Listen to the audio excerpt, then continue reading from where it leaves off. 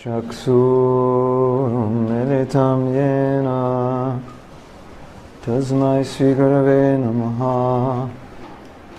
श्रीचैतन्यमनुभीष्टं स्थपितं येन भूतले।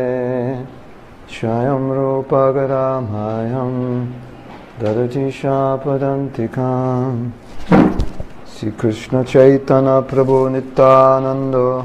शापदन्तिकाम् श्रीकृष्णचैतन्यप्रभु नित्यानन्दो श्रीअद्वैतगदाधरा श्रीवासरिगौरभक्तवृन्द हरे कृष्ण हरे कृष्ण कृष्ण कृष्ण हरे हरे हरे राम हरे राम राम राम हरे हरे मूकं करोति वाचालं भङ्गुलङ्गयति गिरिं कृपातमहं वन्दे श्रीगुरुदिनधारिणाम् So, last night we Вчера вечером мы обсудили, что сегодня на первой лекции поговорим о женской и мужской природе и о том, как они взаимодействуют. И как мы знаем, в нашей современной культуре роли мужчины и женщины очень сильно перемешаны. В особенности из-за того, что мужчин и женщин обучают одинаково, в отличие от того, как это происходило в традиционном обществе, где мужчин обучали в гораздо большей степени, чем женщин, а женщин обучали дома. И не планировалось, чтобы женщина строила карьеру. Планировалось, что она будет женой и матерью, и женщин обучали именно этому. И поскольку их обучали, то они мыслили не так, как большинство среднестатистических женщин наши дни. Большинство современных женщин хотят выйти замуж и родить детей, но они не обучены в этом отношении. То образование, которое они получают, подготавливает их в первую очередь к работе. Um, Причем чаще всего, к работе в той сфере, где работают мужчины, в том же пространстве, в котором работают мужчины. Поэтому им нужны те же самые навыки и качества, которыми обладают мужчины. Каждый обладает как мужской, так и женской природой. Но очевидно, если вы мужчина, вам больше присущи мужские качества, а у женщины больше женских. В настоящее время можно сказать, что у многих мужчин больше женских качеств, чем это необходимо им для здорового или естественного функционирования. А у многих женщин Больше мужских качеств. По крайней мере, по сравнению с традиционным обществом это так. Это не означает, что в традиционном обществе женщины не делали того, что делали мужчины. Однако общественные отношения были другими. И то, что женщина выполняла мужскую работу, не означало, что она становилась мужчиной в доме и начинала доминировать над мужчиной. Потому что Драупади управляла царством, когда пандавы ушли. И это мужская работа. Но она не стала мужчиной. Когда они вернулись домой, она не вела себя с ними как мужчина. Это то, чему женщинам нужно научиться. Как говорил Прабхупада, чтобы иметь успех на. Санкиртане, необходимо быть смелым. Кажется, что это не женское качество. Но Прабхупада говорит, что, возвращаясь домой, следует быть скромным. Однако ради проповеди нужно быть смелым. Итак, Прабхупада объясняет, когда нужно проявлять женские качества, а когда мужские. Даже в индийской традиции были женщины They кшатрии, wielded очень сильные. Они владели оружием, воевали, иногда даже в рукопашную. И это можно видеть и в наши дни. Есть женщины, которые делают do из того, что и мужчины. И для этого нужны стальные нервы. которые, как мы думаем. Бывают только у мужчин. Но женщины также это делают. Так что дело не в том, что женщины многого не могут. Мое понимание таково, что если они утрачивают свою женственную природу, занимаясь мужской деятельностью, то это создает проблему для мужчин. Потому что мужчины ценят в женщинах мужские качества, но не контроль. not control. You know, you have you have a woman who's Например, есть сильная женщина, которую не обманешь, которая умеет решать вопросы. Мужчины это ценят. Она может за себя постоять. Но если, общаясь с вами, она пытается контролировать и доминировать, мужчина этого не воспримет. Итак, в каждом мужском качестве есть что-то хорошее, есть что-то плохое. Насколько я вижу, Плохое всплывает в общественных отношениях. Например, у женщины степень кандидата наук в нужной нам сфере. И мы просим ее возглавить департамент в Майапуре, и она обладает высокой квалификацией. А все мужчины, которые работают с ней, старше нее. И этим мужчинам может быть трудно работать с ней. Не потому, что она не квалифицирована, но потому, что с социальной точки зрения это неудобно. Мужчины чувствуют себя неуютно, когда ими управляют женщины. Или же это может означать, что им неудобно иметь дело с женщиной. Так она может обладать квалификацией, но с социальной точки зрения это может не сработать. interaction. культура принимает во внимание взаимодействие людей в обществе. В Искон женщин часто критикуют за то, за что не следовало бы критиковать. Другими словами, у них есть способности и умения, но если мы говорим, что им не нужно что-то делать, то это зачастую не от того, что они не могут, но потому что с социальной точки зрения это не работает. Um, Есть история о том, что Прабхупада хотел назначить нескольких женщин GBC. Региональными GBC. В списке было три женщины, но затем он их всех вычеркнул. Все они были грехастхами.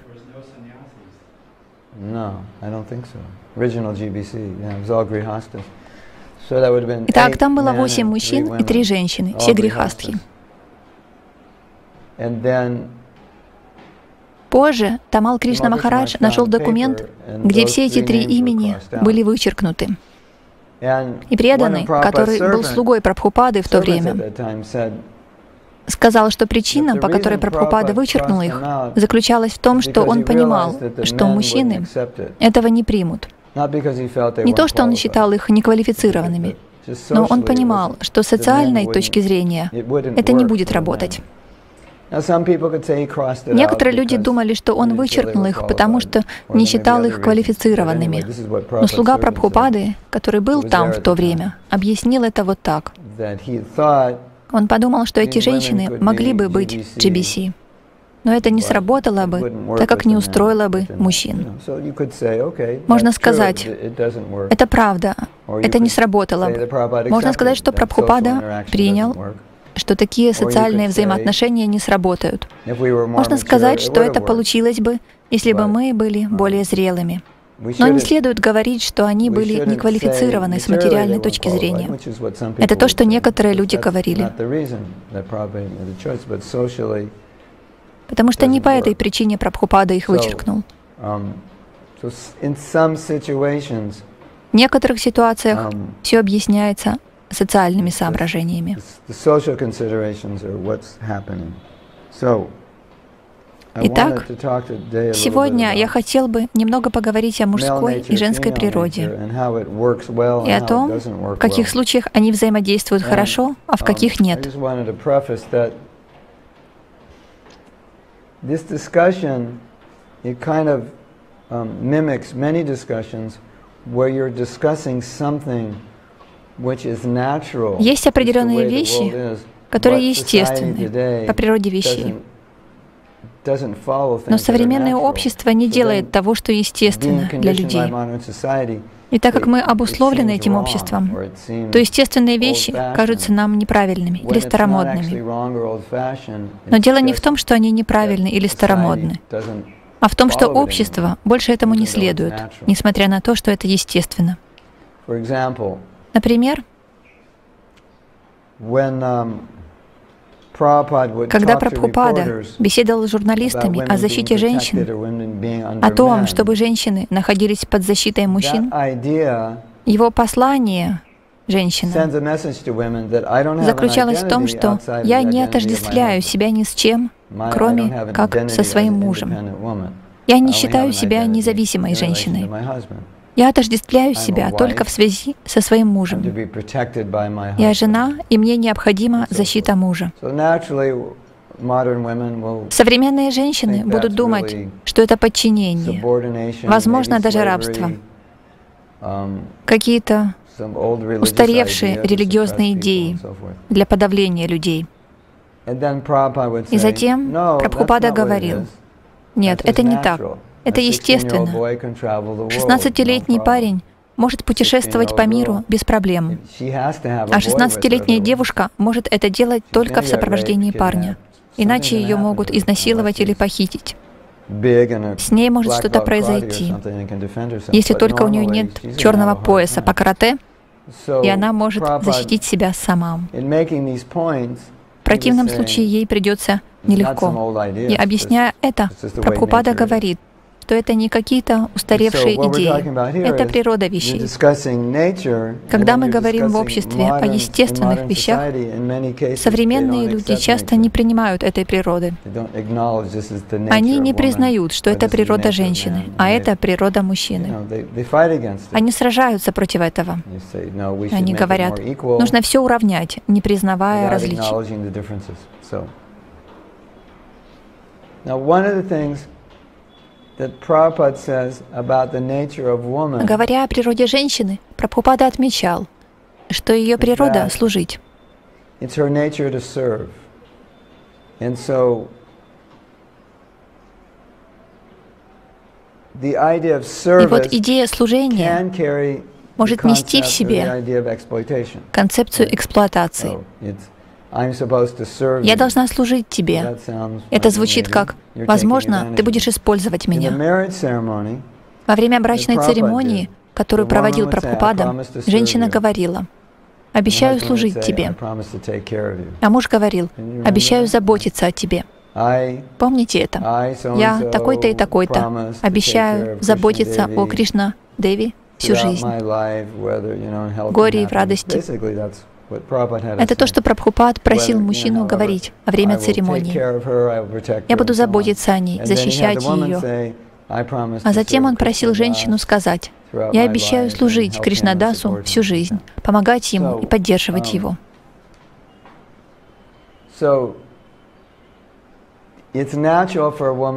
Итак, для женщины естественно служить, но неестественно служить мужчине, который не защищает ее. Для мужчины естественно защищать. Для женщины естественно служить. Поэтому если мужчина защищает, а женщина служит, то все складывается очень хорошо.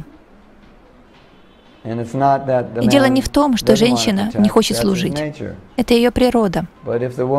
И дело не в том, что мужчина не хочет защищать.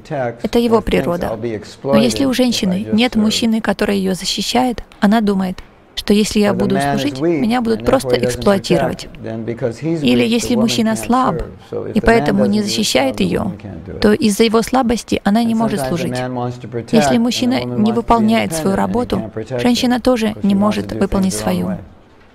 Иногда мужчина хочет защищать женщину, а она хочет быть независимой, и он не может защитить ее, так как она хочет делать все по-своему. Он не может быть мужчиной, так как она не позволяет ему. Или он хочет вести, обучать ее, а она не хочет слушать. В традиционном обществе, которое, конечно, отличается от нашего, так как женщину обучали, как быть женой, а муж обучался в Гурукуле, он обучал ее тому, чему научился сам. Она не могла пойти в Гурукулу, и поэтому обучалась у него. И это было естественное положение. Образование было частью защиты, которую муж давал жене. Именно таким образом она получала высшее образование, ведь она не могла пойти в. Гурукулу. Поэтому говорится, что муж как гуру. То есть это естественно. И это нетрудно понять. Если посмотреть на отношения между любыми двумя людьми, Один будет принимать на себя роль защитника, а второй — слуги. Если один из них не принимает на себя свою роль, то второй не может выполнить э, свои функции. Возможно, в нашей культуре слово «слуга» имеет негативный оттенок. Оно подразумевает эксплуатацию. Но суть в том, что служить — это природа женщин, и они счастливы это делать, если они служат тому, кто может защитить их. Например, мы счастливы служить своему духовному учителю. Но если наш духовный учитель не защищает нас, не заботится о нас, если он не в сознании Кришны, то мы не будем счастливы, служа ему. Правда? И есть люди, которые теряли духовного учителя один раз, два или три. И некоторые из них больше не хотят никому служить. Они никому не доверяют. Хотя служение — это естественная вещь. И это может произойти с женщинами. Если у них нет хорошего мужа, то они не хотят служить. Прабхупад говорит, что женщина контролирует своего мужа посредством служения ему. Под контролем он понимает, что муж сделает для своей жены все, что ей нужно, благодаря тому, что она предана ему. Это психология. И женщина думает, если я буду служить, меня будут эксплуатировать. Но Прабхупада говорит, этого не произойдет. Все как раз наоборот. Когда вы служите, вы на самом деле контролируете его, так как он сделает все, что вы хотите. В Бхагаватам есть примеры. Сукханье было 25, а Чава Намуни 95. И ее отец попросил ее выйти замуж за Чавану Муни. Потому что если он не даст ему какое-то пожертвование, а Чавана хотел получить ее, он проклянет их, так как Сукханья нанесла оскорбление Чаване. Отец попросил ее, и она выполнила просьбу. Итак, ему было 95, можете себе представить. А она была прекрасной принцессой. И вот сейчас она вышла замуж за 95-летнего старика. Также говорится, что он был раздражителен, имел дурной характер. Две плохие вещи. То есть он даже не проявлял к ней хорошего отношения. Но она приняла это и преданно служила ему. Она не проявляла гнева, когда он сердился. Это замечательное качество. Представьте себе женщину, которая не расстраивается, когда ее муж раздражителен. «Убирайся отсюда, не хочу тебя видеть. Не беспокой меня, придешь позже». Другая женщина расстроилась бы, но не она. И поскольку она проявляла такую преданность, он устроил так, что Ашвини Кумары даровали ему молодость. Ашвини Кумары умеют это делать. Они способны даже оживить мертвого, омолодить старое тело. Почему он сделал это? Он подумал, она так преданно служила мне, и она замужем за старым, безобразным человеком. И из любви к ней он решил омолодить свое тело, чтобы ее мужем был молодой привлекательный мужчина. Ашвини Кумары устроили так, что он омылся в озере. Озеро называлось Сидхи Пурним или что-то в этом роде. Сидхи означает, что вы получаете все, чего бы ни пожелали. Сидхи означает совершенство. Какого бы совершенства вы ни пожелали, стоит лишь подумать об этом и омыться в этом озере. И вы это получаете. Он подумал, молодой и красивый. Затем вошел в это озеро и вышел оттуда молодым и красивым. И она не знала, кто это был, и боялась приблизиться к нему. Она была настолько целомудренной, что не хотела говорить с чужим мужчиной.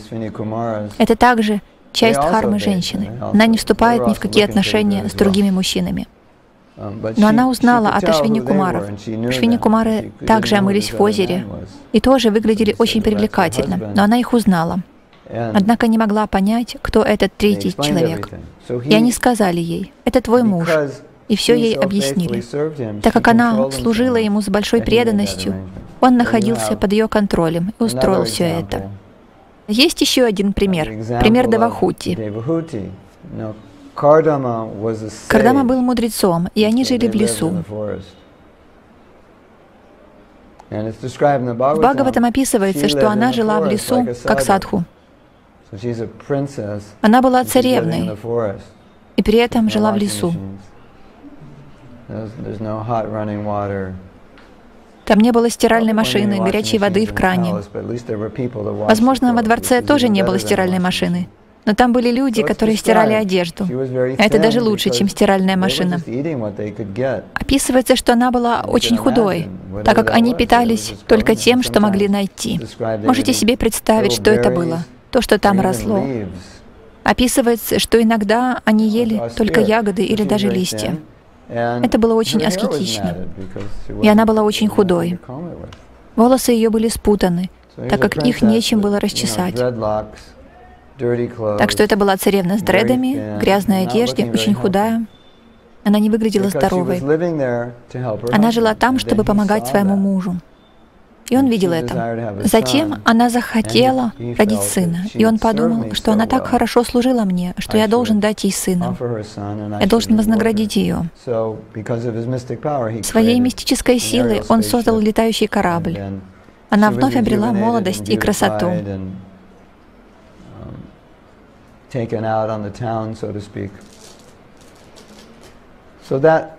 Это подтверждает слова Прабхупады. Есть еще один пример. Я не помню, кто это был. Э, чья-то жена. Она заметила, что пандавы, похоже, находятся под абсолютным контролем Драупади.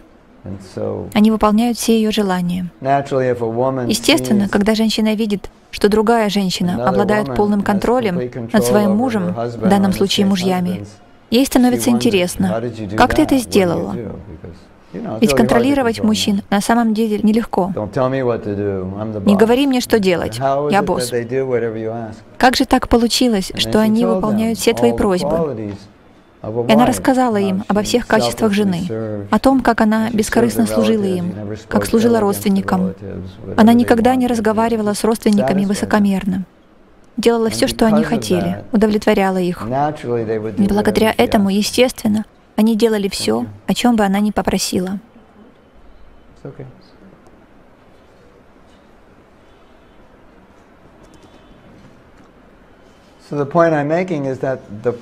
Проблема в том, что когда мы говорим о природе женщины, то необходим подходящий мужчина, который будет отвечать взаимностью.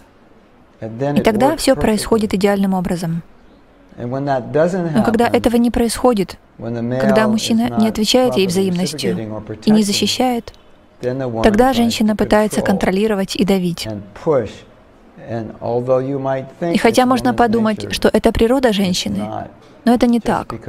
Это происходит только потому, что они не получают то, что хотят, и не знают, как получить это по-другому. Поэтому они давят. Но это не их природа. Если есть нечто такое, что мужчинам категорически не нравится, так это женщина, которая пытается контролировать и давить. Вы согласны? Прабхупада объясняет. Мужское эго — это контроль. Женское эго — это служение.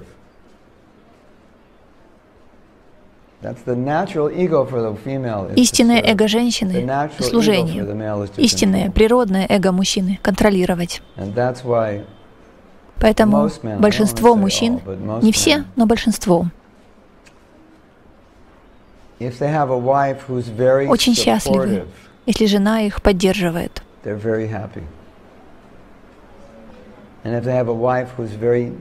Если же у мужчины жена стремится контролировать, требовать, она раздражительна и своенравна, он несчастен.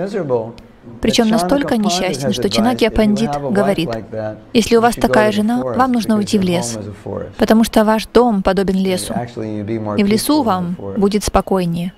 Вы знаете эти шлоки? Жена раздражительна, теща такая-сякая. Это очень токсичное окружение. И говорится, что оттуда нужно уходить.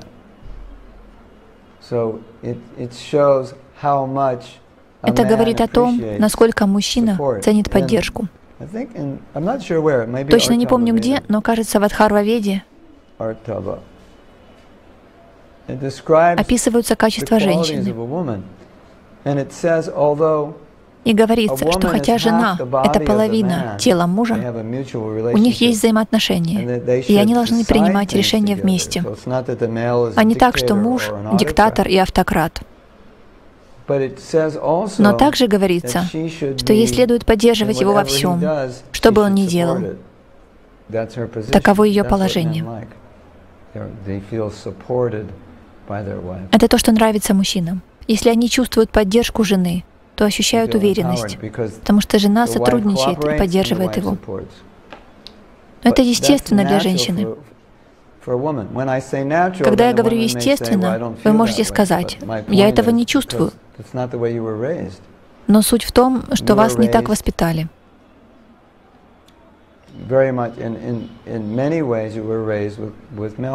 Вам привили очень много мужских качеств, а мужчинам привили много женских качеств. До такой степени, что мы стали безответственными, а вы чувствуете потребность контролировать.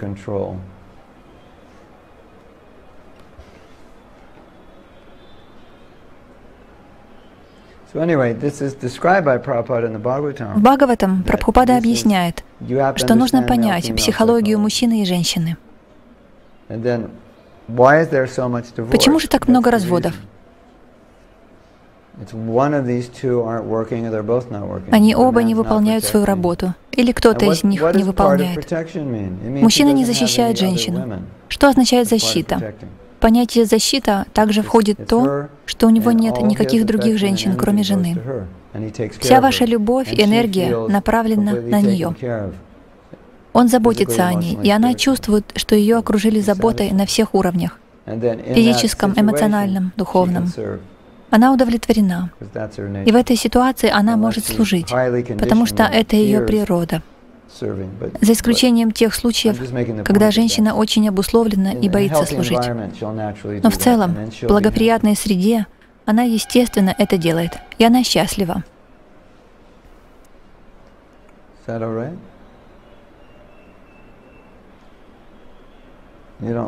Вам это не нравится? Размышляете над этим? У вас не было позитивного опыта служения мужчинам? Ask.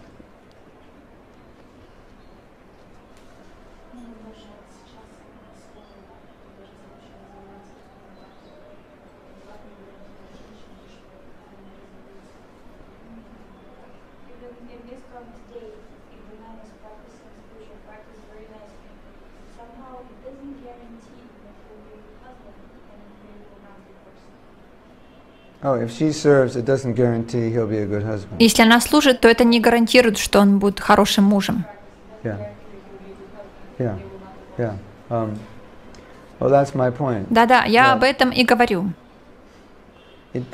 Это не сработает, если мужчина не является хорошим мужем. Если нет хорошего мужа, то вам становится трудно проявить свою природу, потому что он не будет защищать вас или воспользуется вами. Итак, ее вопрос в том, что если у него есть хорошая садана, означает ли это, что он будет хорошим мужем? Да? В этом вопрос. Процент развода достаточно высокий, и у мужа нет квалификации хорошей, и у жены нет квалификации.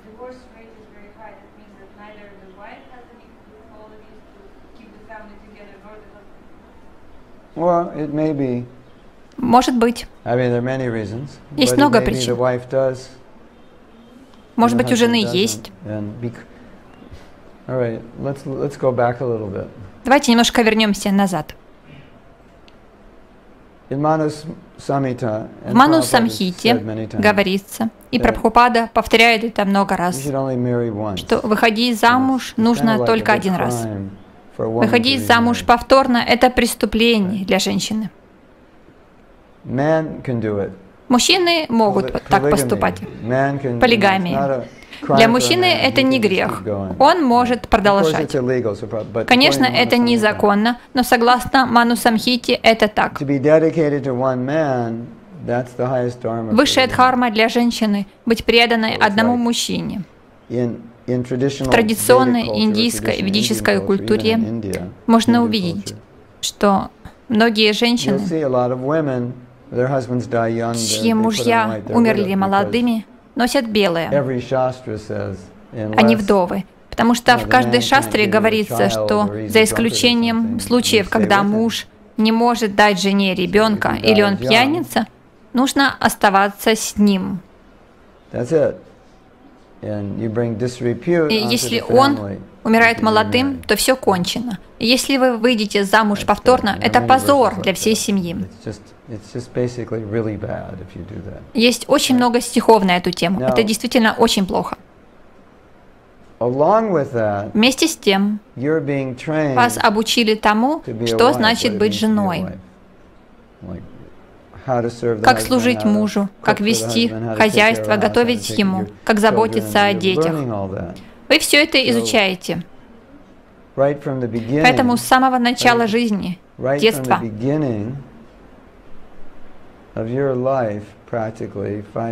с пяти с шести лет у девочки все это откладывается в голове.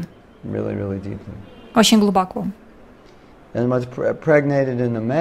А мужчине с детства закладывается идея о том, что он защитник, гуру, лидер.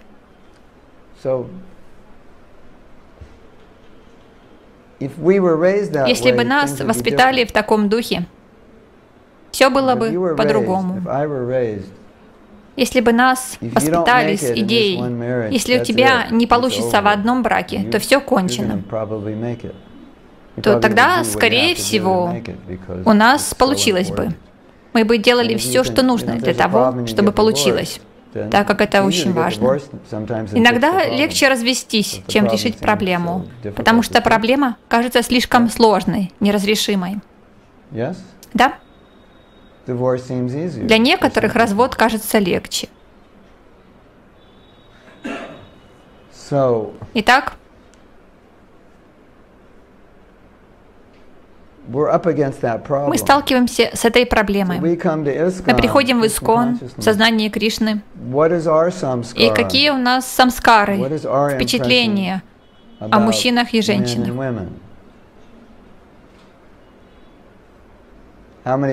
Сколько парней или подружек у нас было перед тем, как э, мы стали преданными? Даже если у вас их не было, то сколько их было у ваших друзей? Сколько ваших соседей развелось? Сколько разводов вы видели в Искон? Что вы видите вокруг?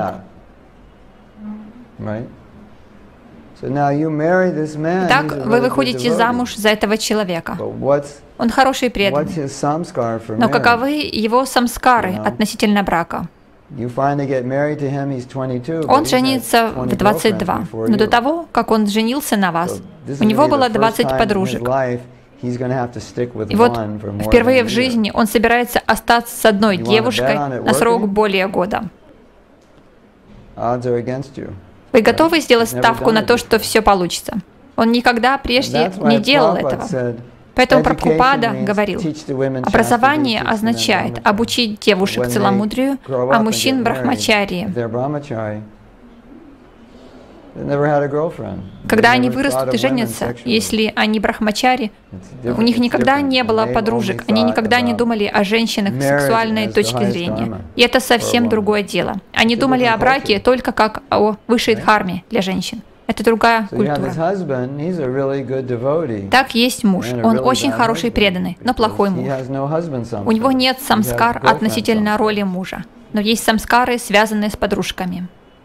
Если это брахмачари, который вырос и присоединился к движению на Западе, то у него другие самскары. Например, для того, чтобы не привязываться к женщинам, он ненавидит или унижает их.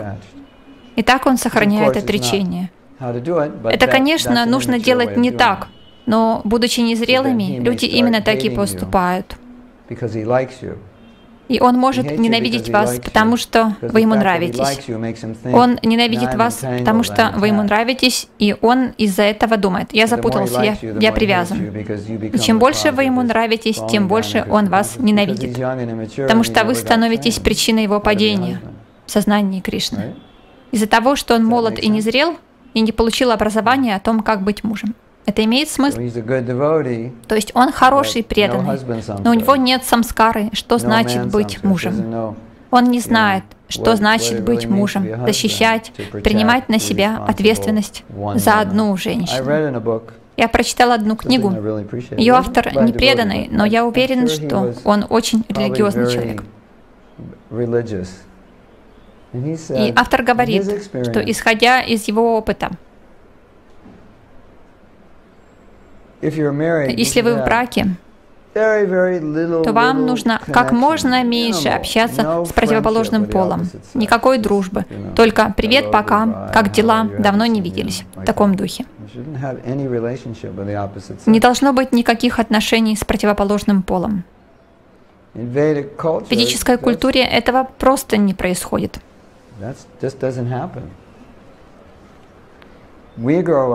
Как мы росли. У нас были подружки, с которыми у нас не было романтических отношений. Это были просто наши одноклассницы, одногруппницы. Мы просто вместе общались в группе, девочки и мальчики. Есть один преданный, почти такого же возраста, как я. И он говорит, что он четыре года учился в университете. Там было совместное обучение, мальчики и девочки учились вместе. И он сказал, что за четыре года он ни разу не разговаривал ни с одной девочкой из своего класса. В той культуре это было не принято. Каждый день, 30-40 часов в неделю, на протяжении четырех лет. Они проводили очень много времени вместе и никогда не разговаривали. Интересно, есть ли у него проблемы с тем, чтобы хранить верность своей жене? Нет, потому что он был так воспитан. А мы общаемся с мальчиками и девочками с 13-14-летнего возраста, а то есть 12 лет. Есть ли у нас трудность? Да. Он хороший и преданный. Откуда вы знаете это?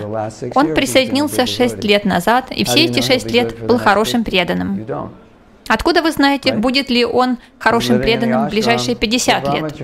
Вы этого не знаете. Он живет в Ашаме с Брахмачари. Ему приходится вставать в 4 утра. Хочет он того или нет? Откуда вы знаете, каким он будет, выйдя оттуда? Он кажется хорошим преданным. Вы знаете, многие хорошие брамачари, женившись, становятся похожими на желе, потому что им не хватает общения, у них нет сил.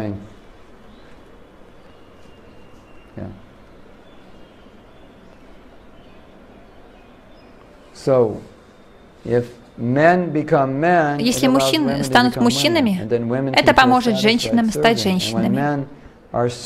И женщины могут чувствовать удовлетворение, совершая служение. А когда мужчине служат, он счастлив. Когда его поддерживают, он счастлив. Вы хотите жениться, чтобы у вас был человек, который скажет вам, что с вами не так? Вы встречаете прекрасную женщину, и она говорит, если ты женишься на мне, то произойдет вот что. Все решения буду принимать я.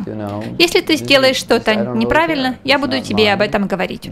Твое мнение, какое бы оно ни было, меня не интересует, если оно не совпадает с моим. Тебе просто нужно с этим смириться. И если только это не какая-то абсара, настолько прекрасно, что вы теряете голову. Большинство мужчин скажут, нет, я не смогу так жить. Но если женщина, пусть не такая красивая, говорит вам, я буду тебе помогать, я буду тебя поддерживать, я буду поддерживать чистоту в доме, буду служить тебе, буду жить просто, я буду обходиться той суммой, которую ты мне дашь то мужчина скажет, да, хорошо. А иначе, если вы принесете домой тысячу рупий, она скажет, почему не десять тысяч? Что-то с тобой не так. Убирайся отсюда, найди вторую работу. Это одно из качеств жены. Что бы ей ни дали, ей этого хватает. Кому из мужчин понравится такая женщина, которой даешь на хозяйстве пять тысяч, из них четыре тысячи она тратит на одежду, и через неделю все деньги заканчиваются, и до конца месяца денег нет. Кому из мужчин такое понравится? Никому. Это доводит их до белого коленя. Приходится искать вторую работу, чтобы все это оплатить.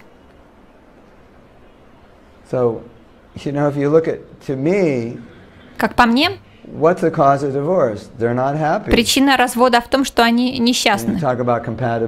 Вы говорите о совместимости, но если взять пару с очень хорошей совместимостью, но она не хочет служить, а он не хочет защищать, они не будут счастливы, потому что это не их природа, не их дхарма. Я думаю, многие женщины боятся проявлять эту природу, или хуже того, даже не знают о ней, и никогда в полной мере не проявляли ее. Их не вдохновляли на это, или они пытались проявить ее, но ими воспользовались, стали эксплуатировать или обманывать. И они не чувствуют связи с этой природой.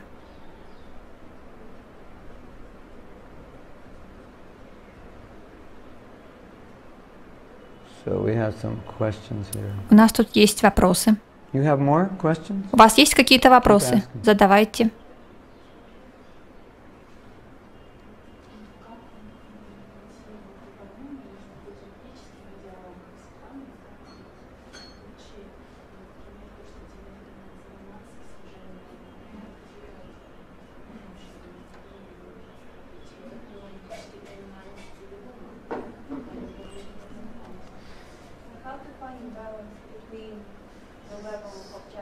Как найти баланс между э, тем уровнем, на котором находилась Сукханья, и тем, что нам необходимо совершать какое-то служение, проповедовать?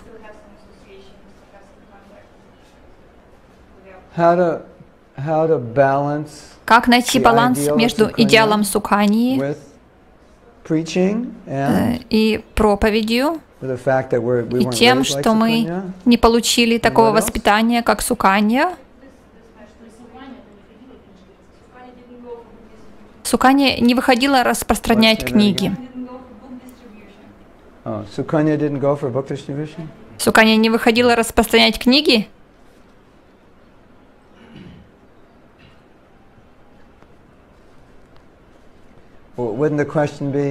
Вопрос может стоять так. Что если мой муж не хочет, чтобы я распространяла книги? Просто сидеть дома и помогать своим мужьям. Как вы ходите на распространение книг? После того, как вы помогли ему, вы идете распространять книги. Если он приходит домой, и там нет просада, потому что вы распространяете книги, то вы должны или спросить у него, можно ли так, или устроить так, чтобы он мог получить просад у других преданных, так как вас не будет дома и уточнить, подходит ли ему это. Многих мужчин это устроит, а многих не устроит. Um,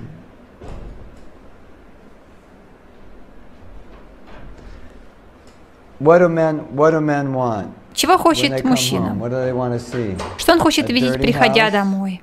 Грязный дом, пустой стол, и жена выглядит так, будто ее только что переехал грузовик. Нет, Женщина считается подпитывающей энергией. И приготовление пищи является частью этого. Моя жена приготовила печенье и дала их одному преданному. Когда она печет печенье, она всем его раздает. И этот преданный сказал, это печенье по вкусу такое же, как готовила моя мама. Дай мне рецепт. Оно напоминает мне о маме. Но его мама не преданная. Однако сила приготовленной матерью пищи очень велика, потому что в пище, приготовленной матерью или женой, столько любви любви. Вот это и есть питание, не только физическое, но и посредством любви. Именно это мы получаем от коровы. Ее любовь мы получаем в форме молока.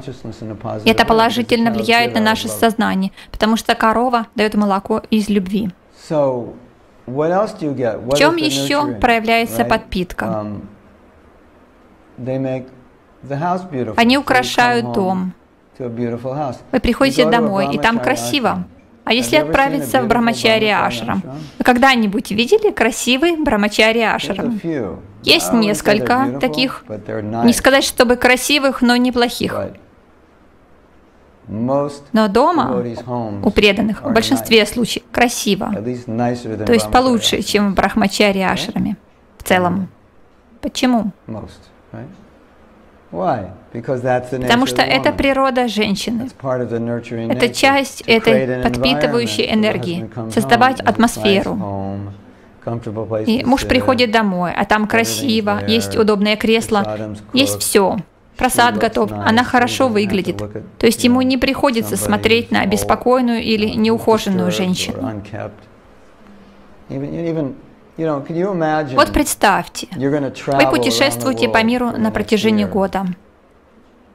И вам помогает слуга, который всегда подавлен. Это просто сведет вас с ума. Через несколько недель вы скажете, я не могу путешествовать с тобой, правда же? Или ваш слуга всегда ходит в чем-то грязном, мятом, порванном. Очень, очень мятом. Вы не можете на это смотреть. Он живет с вами и никогда не убирает. Его одежда валяется на полу и так далее. А если дом у женщины чистый, она сама чистая, у нее чистая одежда, вот это жена. И для женщины естественно это делать. В благоприятной среде она будет это делать. Вы можете сказать, бывают женщины-карьеристки, которые не хотят этого. Это правда. Есть много мужчин, которые счастливы, что жена работает и зарабатывает дополнительные деньги.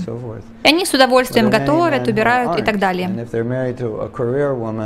Но многим мужчинам не нравится, и если они женятся на карьеристке, это приведет к проблемам. Но это то, что в целом мужчинам нравится. Это общий принцип. Когда вы становитесь женой, ваша задача следить за тем, чтобы все это происходило в свободное от распространения книг время. Если же вы хотите очень сильно погрузиться в распространение книг, спросите у мужа, можно мне сегодня распространять книги до 10 вечера? Сейчас большой фестиваль. Ты можешь приготовить себе сам. Он может сказать, конечно, распространяй книги, я сам приготовлю себе. А некоторые мужчины скажут нет. Крайнее проявление этого таково. Почему это я должна готовить для мужа? Санкиртана же важнее. И они приходят домой и даже не знают, что ее не будет дома, еды нет. Иногда происходит и такое, и это, конечно, расстраивает. Когда я был в Австралии, я говорил о суканье на лекции и сказал, как женщины смотрят на суканью. Мало кто из женщин может подражать суканье. Но опять же, нужно понять культуру в целом. Если вы поймете ее, то, по крайней мере, вы сможете понять, почему она вышла замуж. Потому что ее попросил об этом отец. Почему она сделала то, о чем попросил ее отец? Ведь то, о чем он ее попросил, было абсурдно. Вот представьте, моей дочери 15, я нахожу самого старого преданного в Майапуре, 85 лет, и говорю ей, ты выходишь за него замуж. Меня же люди из Майапура выгонят. Скажут, не возвращайся. Ученики откажутся от меня. Это же безумие. Это жестокое обращение с детьми. В этой культуре вы смотрите на отца, учителя, старшего брата, царя и гуру одинаково, и также на старших родственников. Это одно и то же. К ним относятся с наивысшим уважением. Их слово – закон. Гуру – это Бог. Учитель – это Бог. Царь – это Бог. Мать – это первый гуру. Старший брат – представитель отца. А отец – это гуру.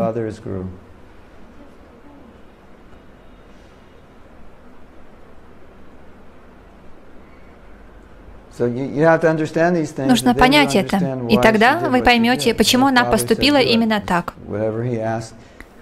Отец сказал, делай так, и она делает все, что он скажет. Дашаратха сказал Раме, отправляйся в изгнание. И он сказал, да, отец. И это за день до коронации. Не просто в какой-то обычный день. Да, отец.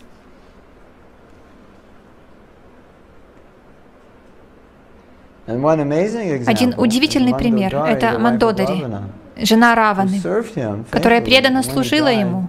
И когда он умер, она ругала его. Твое тело — это пища для шакалов. Ты всю жизнь был негодяем. Ты причинил людям столько страданий. Но она служила ему, потому что это ее дхарма, несмотря на то, что он был плохим.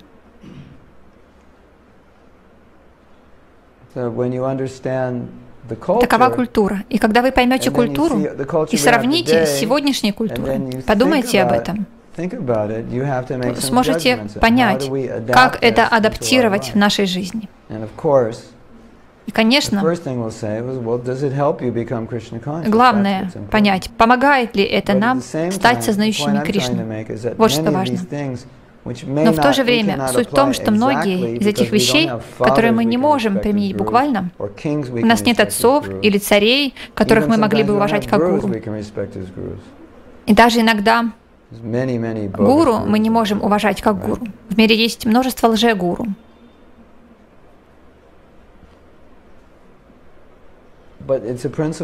Но это принцип.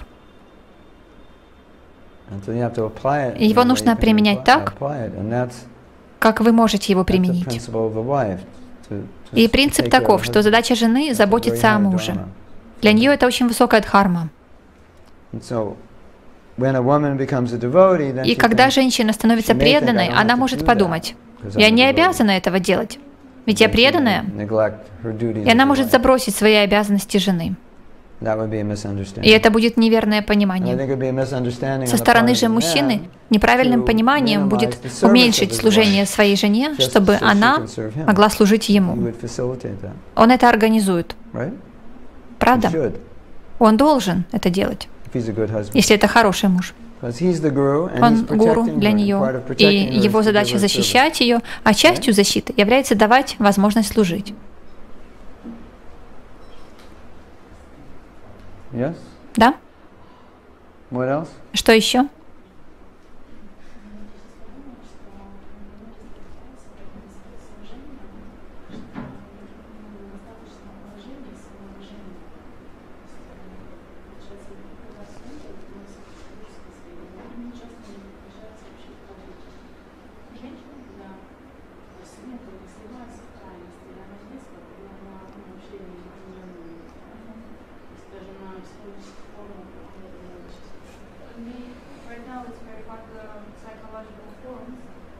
На психологических форумах сейчас распространена идея о том, что женщины склонны впадать в крайности. Либо они вообще не хотят служить, либо они хотят служить настолько сильно, настолько много, что становятся подобны коврику у дверей, о которой все вытирают ноги.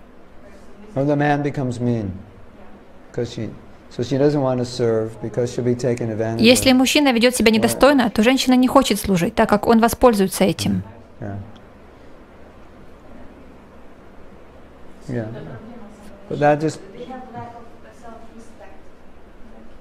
У них недостаток самоуважения. Если ей недостает самоуважения, то, возможно, это из-за мужчины.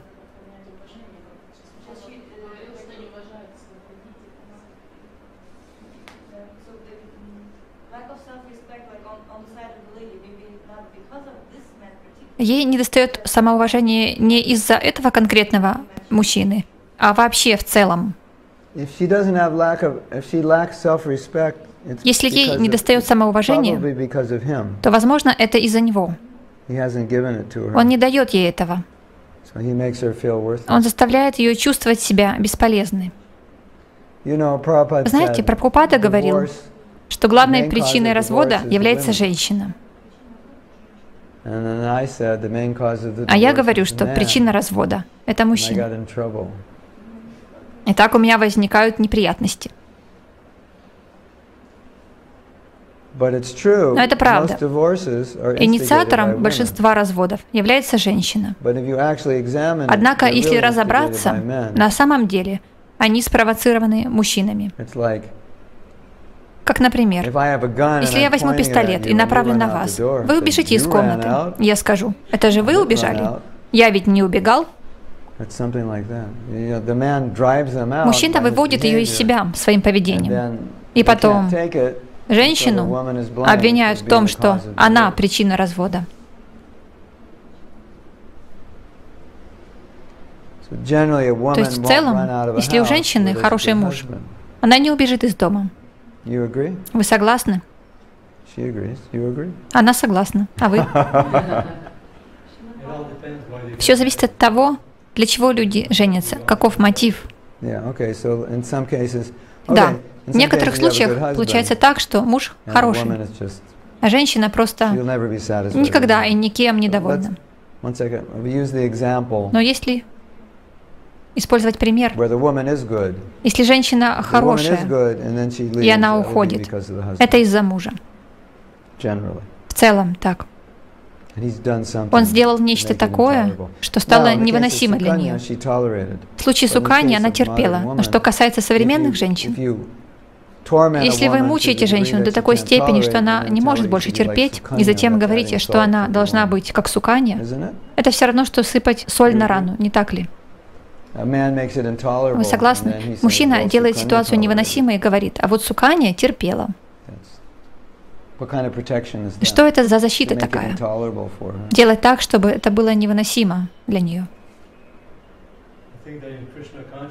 В сознании Кришны семейная жизнь более сложна, так как часто бывает, что мужчина женится на ком-то из материального мира, и там множество материальных желаний. И человек понимает, с этим человеком я никогда не смогу их реализовать. Да, да, это правда. И вдруг она заставляет вас. Да.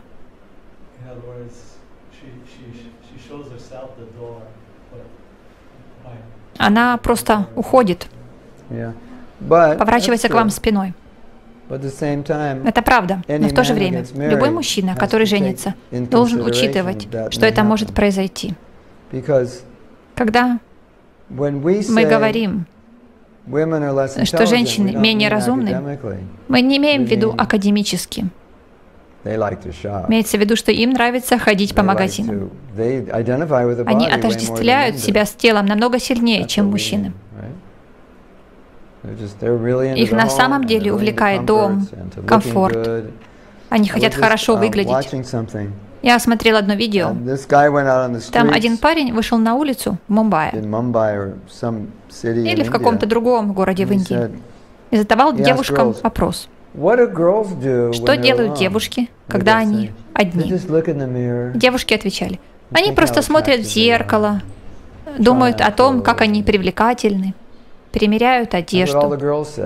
Это то, что сказали девушки. Я не имею ничего против того, чтобы девушки смотрели в зеркало. Но это то, что они делают, по их словам. Парни такого не делают, в этом разница. Конечно, некоторые парни это делают, а некоторые девушки нет. Но в целом это так. Суть в том, что когда мужчина женится, он должен понимать, что такова природа женщины. Она будет более или менее контролироваться, зависит от женщины. И быть мужем означает, хорошо, я должен дать это тебе. Сари, украшения, дети, дом, говорил Прабхупада. Вы согласны? Иначе они не будут счастливы. Да. Например, что нам нужно? У нас есть большой красивый дом. Ты просто строишь небольшое помещение, немного больше, чем кладовка. У тебя там книги и кровать. И ты счастлив. Остальная часть дома — это для нее. Когда мы говорим, что женщины менее разумны, то это имеется в виду не здесь, в голове, а это ее потребности, отождествление с домом, с телом.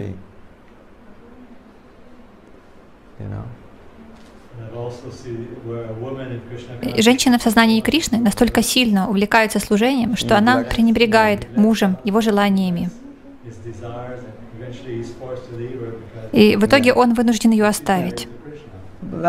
Она молится Кришне. Это то, о чем мы говорили. Это искусственно. Такая женщина становится мужчиной. Но она задействует все это в служении Кришне. Тогда ей не следовало бы выходить замуж. Это так же, как иногда мужчина не хочет быть мужем. Ему говорят, зачем ты женился? И Прабхупада всегда говорил в таких случаях. Уже слишком поздно, ты уже это oh, сделал. Раньше я мог ходить на Санкиртану, а сейчас мне приходится работать в офисе. И он жалуется. Да, но ты не можешь теперь отказаться от этого. Будь ответственным.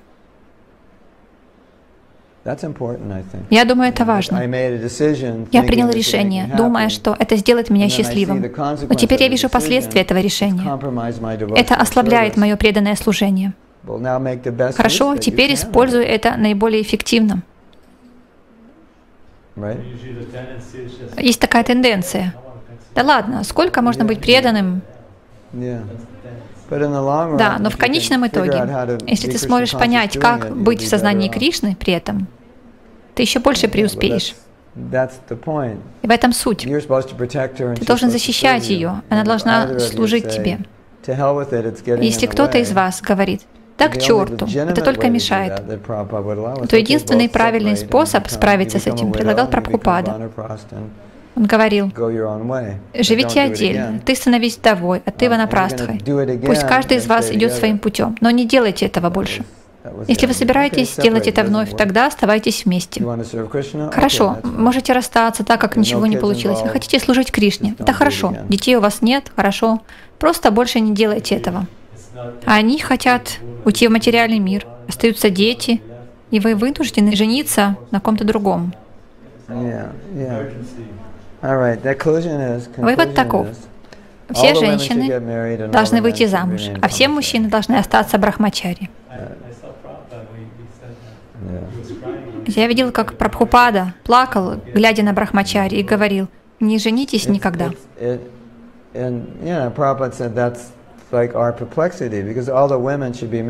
Да, Прабхупада говорил, что это дилемма. Все женщины должны быть замужем. Но через что должен пройти мужчина, чтобы поддерживать семью? Противоположность тому служению, которое он мог бы делать, будучи брахмачари. Он мог бы делать колоссальное служение. Так что же делать? Если и муж, и жена хорошие, она будет идти на компромиссы ради него, а он ради нее. Вместе они смогут уладить эти вопросы. Поэтому в Ведах говорится, что жена — половина тела мужа. Это означает, что они могут решать вопросы, идти на компромиссы. Они могут удовлетворять потребности друг друга. Вы знаете, дело в том, что Жизнь в грехасхашами хороша, потому что большинство людей женятся, руководствуясь неправильными мотивами. И рано или поздно они понимают, что если они будут оставаться вместе, то нужно это делать, руководствуясь правильным мотивом. А это может быть не совсем тот мотив, который сподвиг их на брак. Это ответственность и служение. Я буду служить тебе, я буду помогать тебе, буду идти на какие-то жертвы. И очень хорошо, если вы это делаете, потому что так вы становитесь сильнее. Но вы вступаете в брак с мыслью, ты сделаешь меня счастливым, и я позабочусь о том, чтобы ты сделал меня счастливым. Или я проконтролирую, чтобы ты сделала меня счастливым. Но это не работает. Я пытаюсь контролировать тебя, или ты пытаешься контролировать меня. И затем я понимаю, мне нужно понять твои потребности и служить тебе, и это сделает меня счастливым. Если ты будешь так поступать по отношению ко мне, это сделает меня счастливым. И если вы не выучите этот урок, то будете просто сражаться, будете несчастны и будете впустую тратить время, которое могли бы использовать на служение Кришне, сражаясь с мужем или женой. У вас есть такой опыт? Или нет? У вас есть позитивный опыт? У вас есть позитивный опыт или никакого опыта?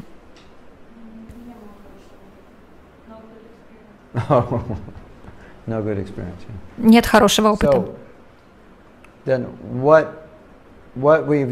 Итак, что мы часто делали много раз?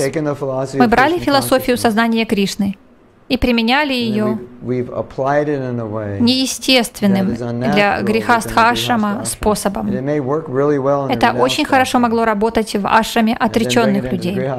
Но когда это переносится на ашрам грехастх, это не работает. Из-за этого возникает напряжение в грехастха-ашраме. Принципы брахмачарья ашрама, некоторые из них, не всегда хорошо переводятся в ситуацию грехастха ашрама. Это приводит к конфликту. Я вам рассказывал на днях этот анекдот. Если вы совершаете ошибку и говорите, я прошу прощения, то вы честный человек. А если вы не уверены, что совершили ошибку, но просто говорите, прости меня, это означает, что вы мудрый человек. Но если вы не совершали ошибки, и тем не менее говорите «прости меня», это значит, что вы муж.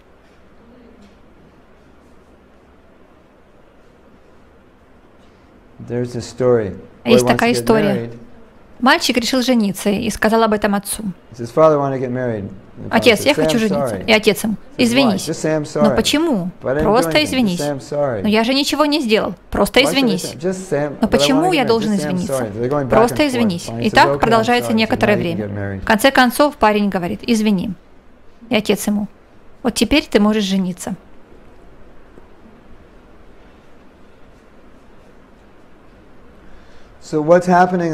Что же происходит? У нас есть прекрасные программы в сознании Кришны, жизнь в ашраме, хорошая садана, хорошая проповедь, да?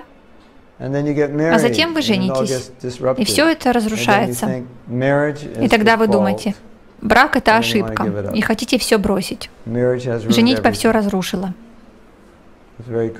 Это часто происходит. Потому что вы вступили в брак, сохраняя сознание брахмачари или брахмачарини. Жена не заняла положение слуги, а муж не занял положение того, кто защищает, контролирует и обеспечивает. Но если оба делают это, я хочу сказать, что тогда они как две половинки, идеально подходящие друг к другу. Если же у одной половинки есть черты второй, а у второй какие-то черты первой, то они плохо совмещаются.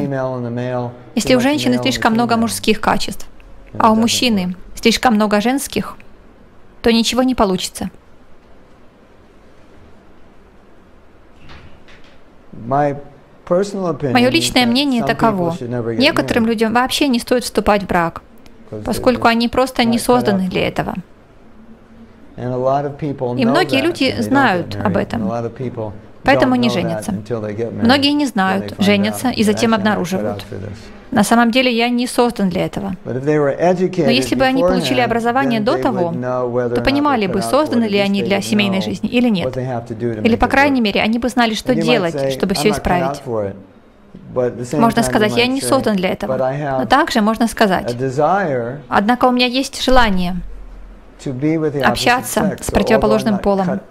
И хотя я не создан для этого, но я приложу усилия, чтобы научиться и обрести качество.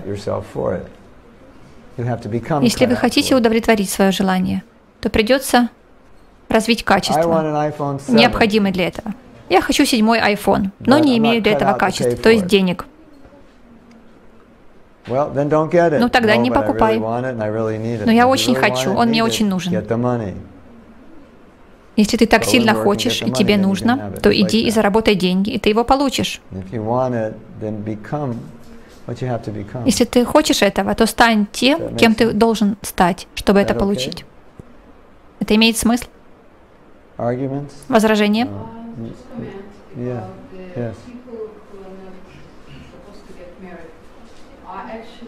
Бывает, что некоторым людям не хватает зрелости, и согласно их астрологической карте, им не следует жениться до определенного времени. Им лучше жениться, например, в 36 лет по определенным причинам. И в их астрологической карте видно, что их брак откладывается. Если же они поспешат вступить в отношения, то это не будет хорошо для них. у некоторых это откладывается до такой степени, что они вообще не женятся. Они должны увидеть свои ошибки, проанализировать их, и потом они понимают, что мне нужно работать над чем-то. То, что вы говорите, это правда.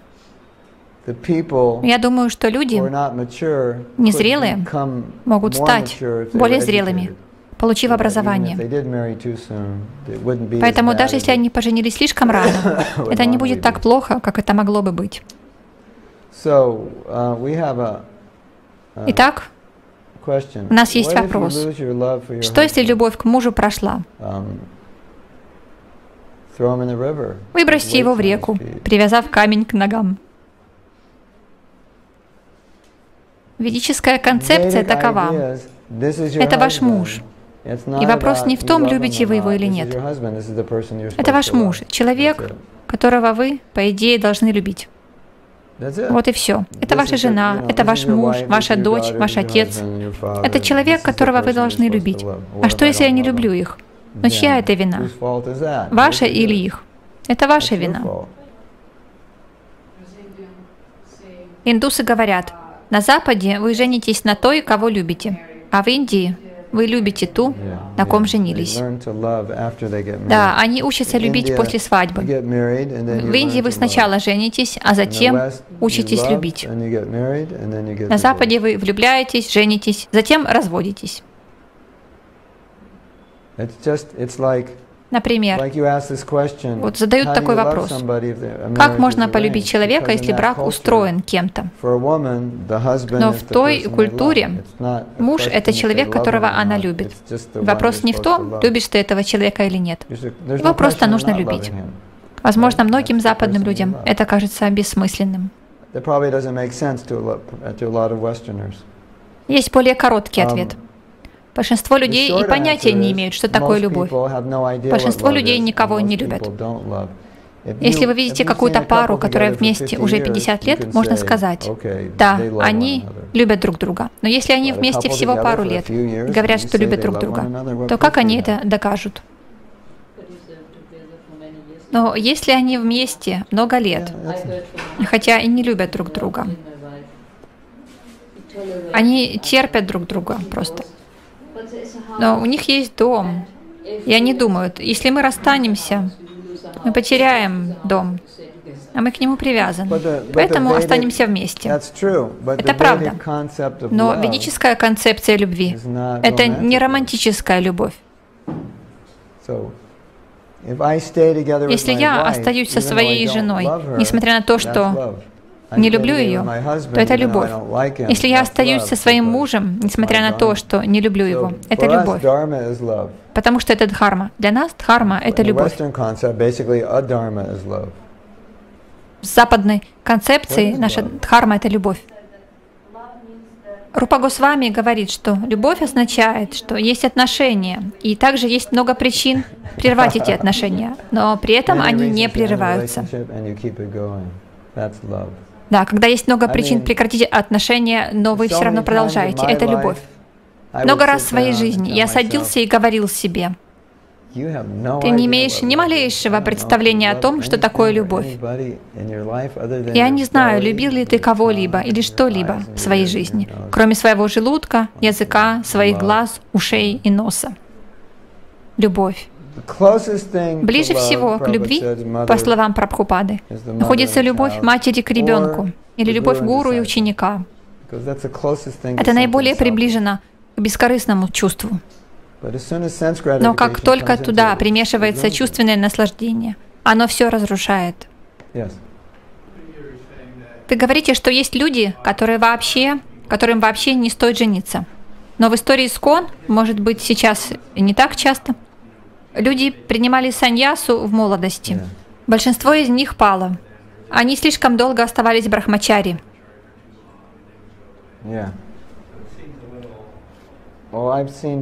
Я видел людей, которым следовало бы жениться, но они не могли это сделать. То я имел в виду, говоря, что некоторым не следовало бы жениться вообще, так это то, что такие люди, женившись, только причиняют страдания своим женам. Им нужна семья, но они не могут в ней находиться. Это просто их природа. Они не способны. Некоторые мужчины прекрасные люди, но не могут жить с женщиной. Для них это невозможно. Их беспокоит все, что относится к женщинам. Это их природа. Такое я тоже видел. Ничто не может удержать их в отношениях, потому что ничто в отношениях их не привлекает. Это их природа. И если они женятся, то это будет медвежья услуга по отношению к женщине. Потому что они никогда по-настоящему не станут мужьями. Он может быть прекрасным человеком, мягким и добрым. Но что касается семьи, это его не привлекает. Вы видели такое? Очевидно, что саньяси как раз из этой категории. Но также это присуще и некоторым из тех, кто не является саньяси. Если такие люди женятся, они испытывают трудности. Также я видел людей, которые не могут наладить отношения ни с кем, ни с мужчинами, ни с женщинами. Мы видели таких людей. Они женятся, и ничего не получается. Но с представителями своего пола у них тоже не получается. У них ужасные отношения со своим полом.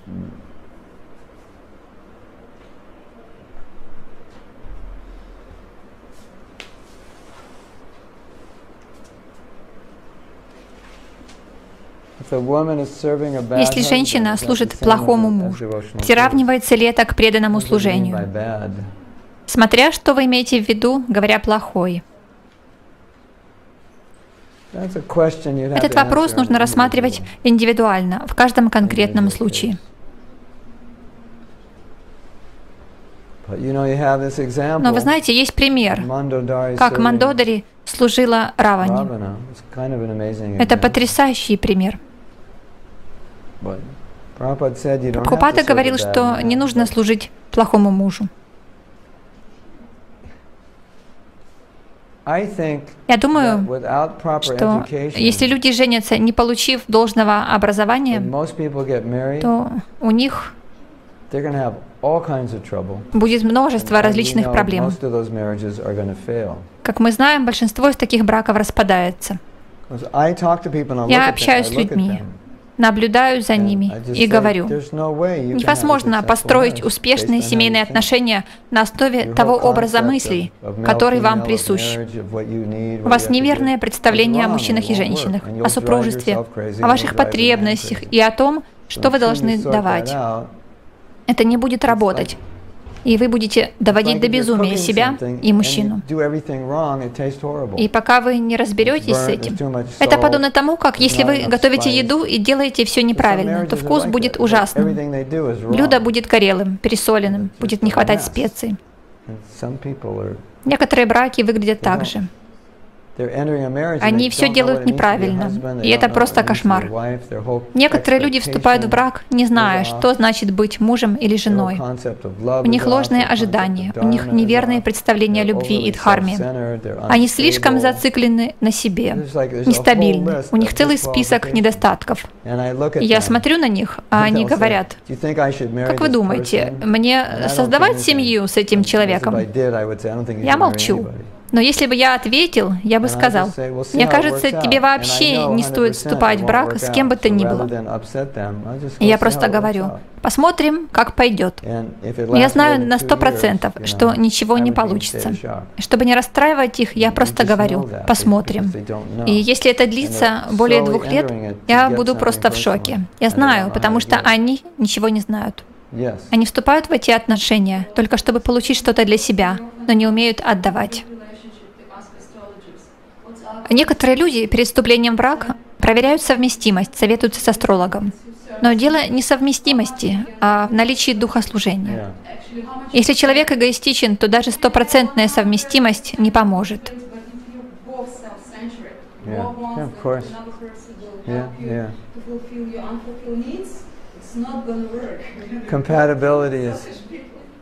Да, значение совместимости сильно преувеличено. You know, I mean, the, the whole, the whole problem is Вся проблема в том, что человек вступает в отношения с желанием что-то получить. а не для того, чтобы давать. Многие ученики вступают в отношения с гуру для того, чтобы больше брать, чем отдавать. У них 108 проблем, и им нужен гуру, который решит все мои проблемы. Они просят гуру, можете решить эту проблему, и эту, и эту. А когда все проблемы решены, Гуру о них больше никогда не слышит. У них не возникает мысль, что я могу дать. Есть только мысль, что я могу получить. Это тоже умонастроение, которое разрушает супружеские отношения. Что я могу получить вместо, что я могу дать. Бхакти основано на том, что я могу дать. Вы прогрессируете, когда отдаете, правда же?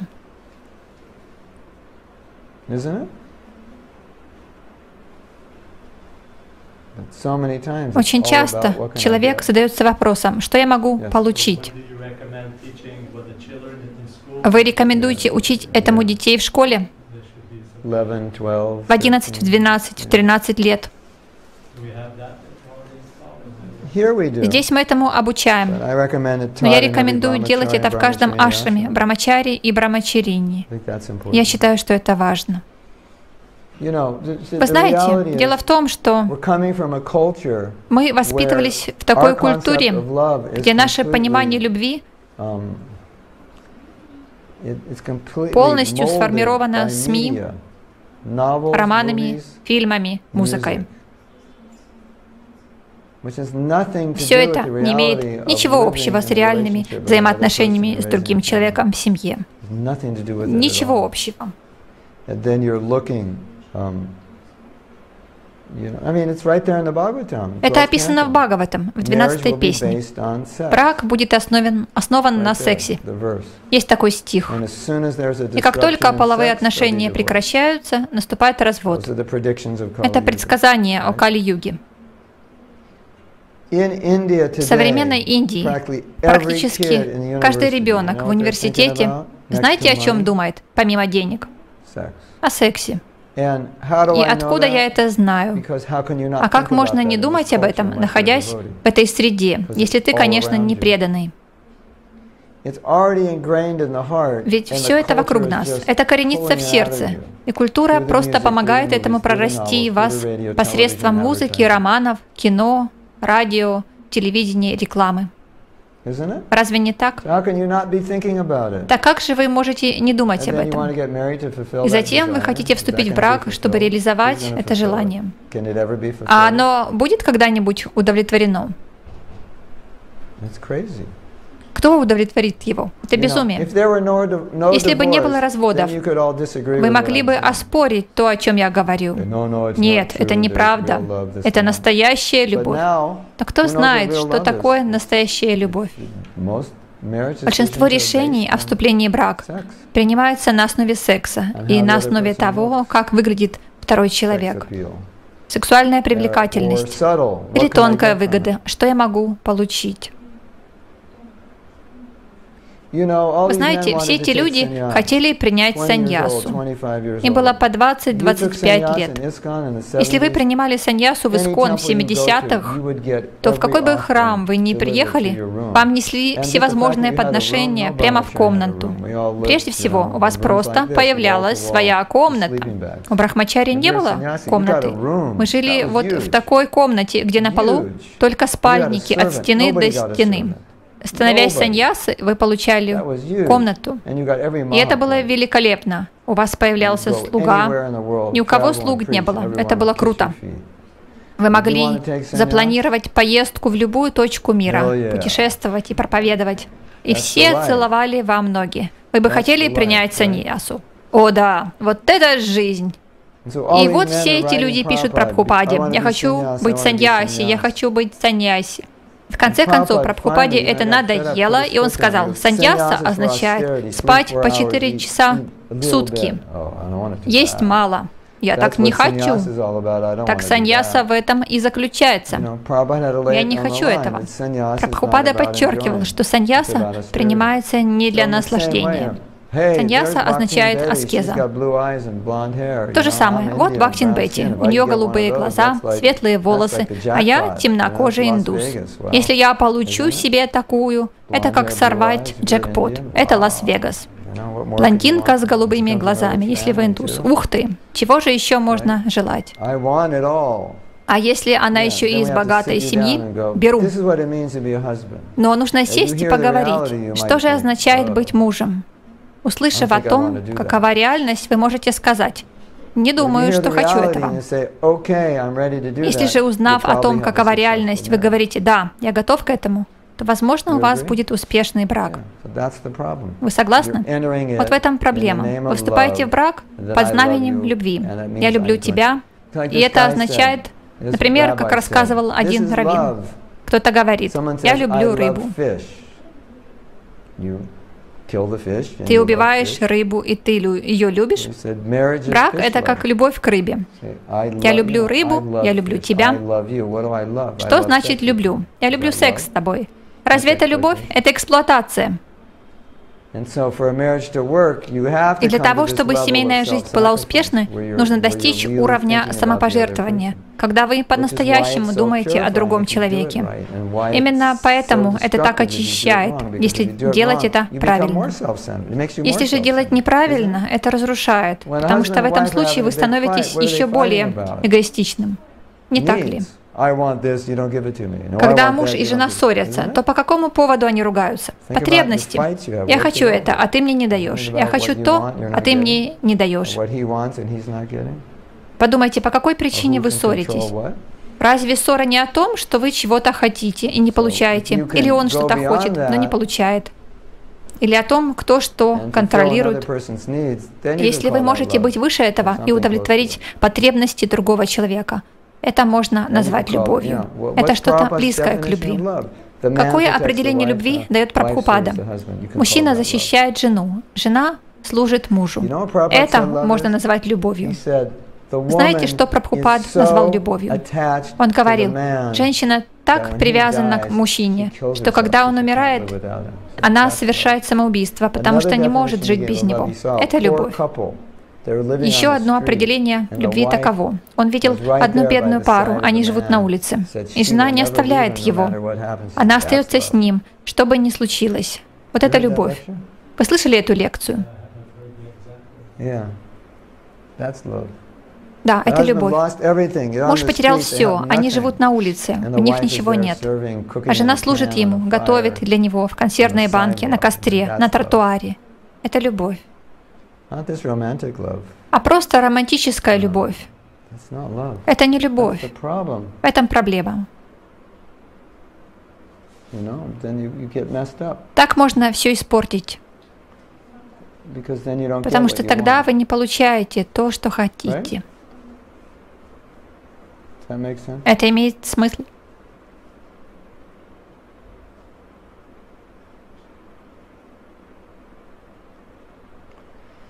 К вопросу о том, почему Сита ушла в лес с Господом Рамой.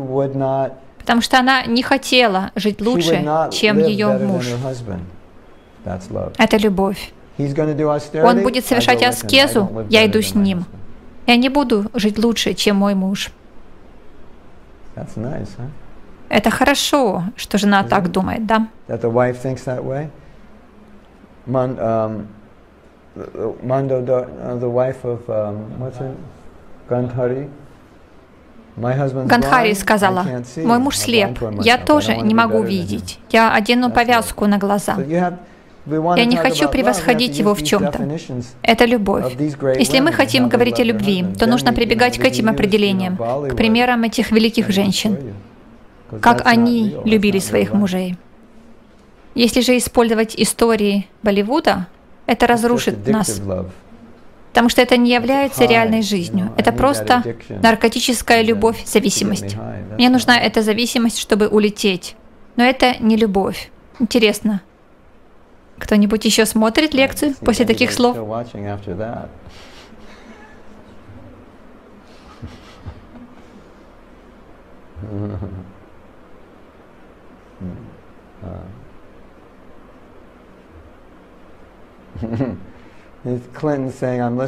Клин говорит, я слушаю эту лекцию на работе.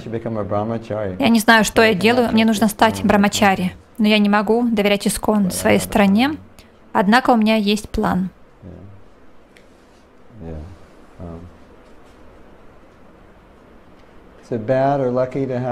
А это плохо или хорошо провести свадьбу с ягой в храме перед божествами, если не имеешь инициации? Я собирался сказать ему, чтобы он спросил у своего гуру, но я и есть um, его гуру.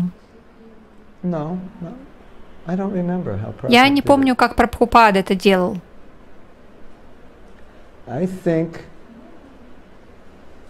Насколько я помню, преданные хотели получить посвящение,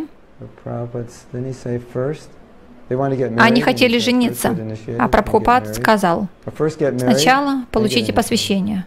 Или сначала женитесь, а потом получите посвящение. Oh, Нужно жениться после инициации. Да, хорошо. Сначала посвящение, потом свадьба. А что если вы уже женаты, но у вас не было яги? И так, и так, хорошо.